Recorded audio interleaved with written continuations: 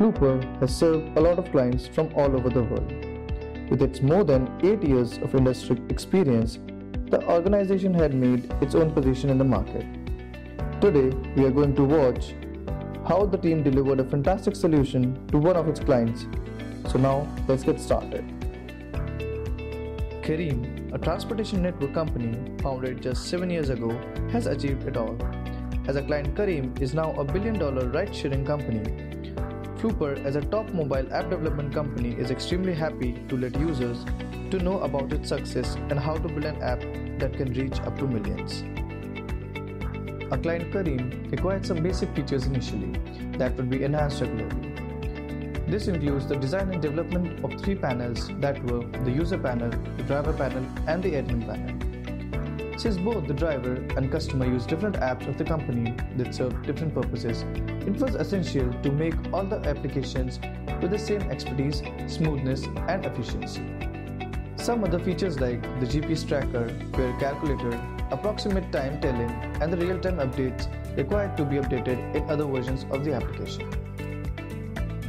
Now, let us know about the challenges that were faced by us. The challenge number one it was the real time location tracker on maps. This was the major concern our client faced. In this, the exact location of the customer was not easy to track. But our vast experience helped us solve the problem by purchasing Google features on maps which are paid. For this, we got the required API key and enabled them. With slight optimization in code, we were able to get through this problem.